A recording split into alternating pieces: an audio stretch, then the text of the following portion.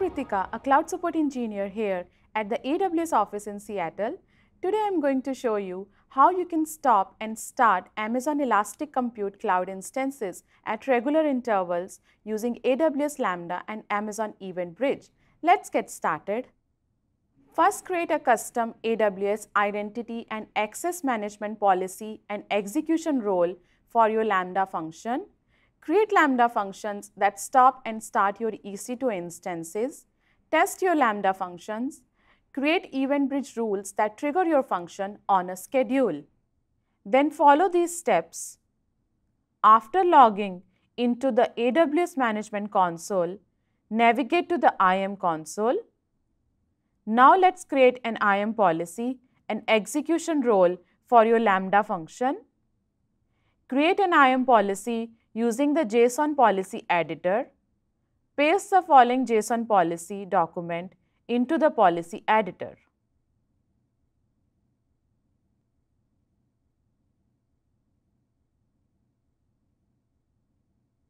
Create an IAM role for Lambda.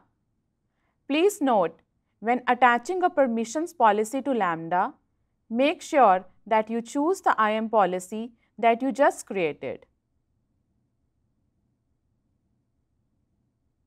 Create Lambda functions that stop and start your EC2 instances. In the Lambda console, choose Create function, choose Author from scratch. Under Basic Information, add the following.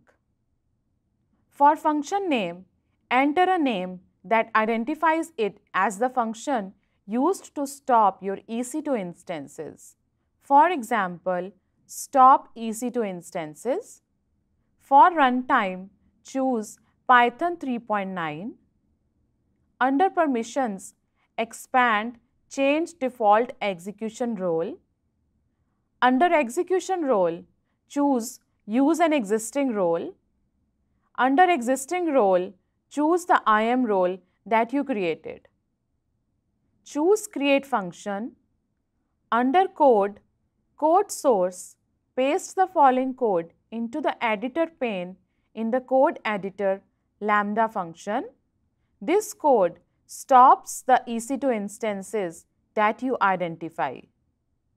Please note for region replace US West 2 with the AWS region where your instances are.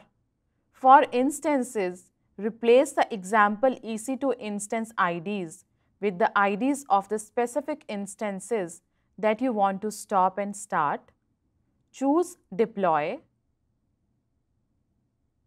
On the Configuration tab, choose General Configuration, Edit, set timeout to 10 seconds and then select Save.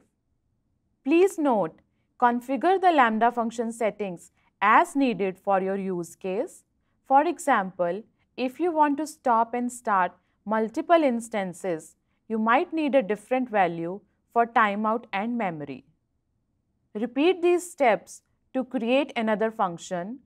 Do the following differently so that this function starts your EC2 instances.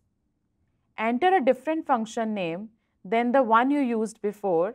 For example, start EC2 instances. Also paste the following code into the editor pane in the code editor lambda function. For region and instances, use the same values that you used for the code to stop your EC2 instances. Choose Deploy. On the Configuration tab, choose General Configuration, Edit, set timeout to 10 seconds and then select Save. Test your Lambda functions. In the Lambda console, choose Functions.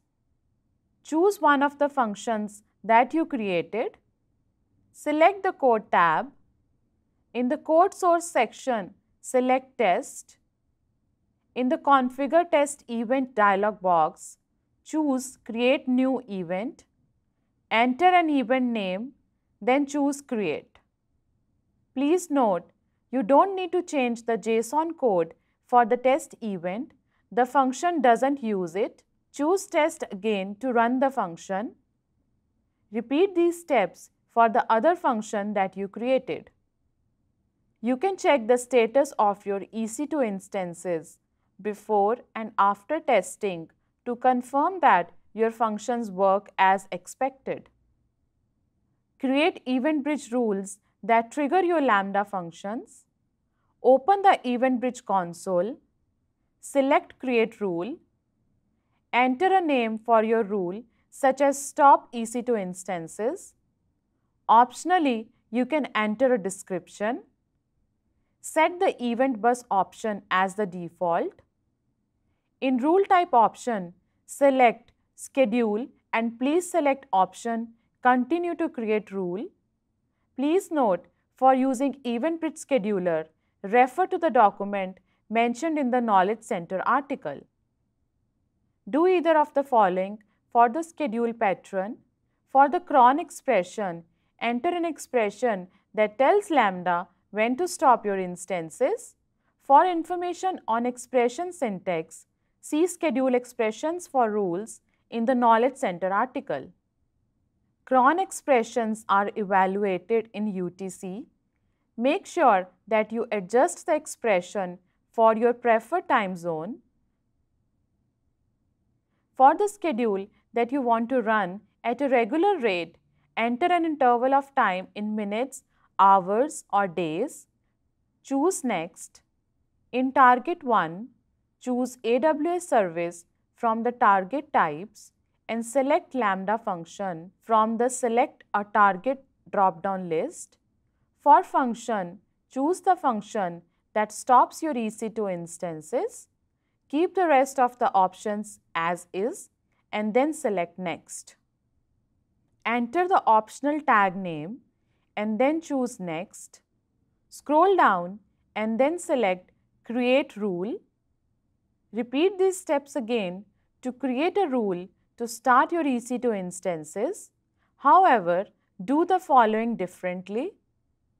Enter a name for your rule such as start EC2 instances.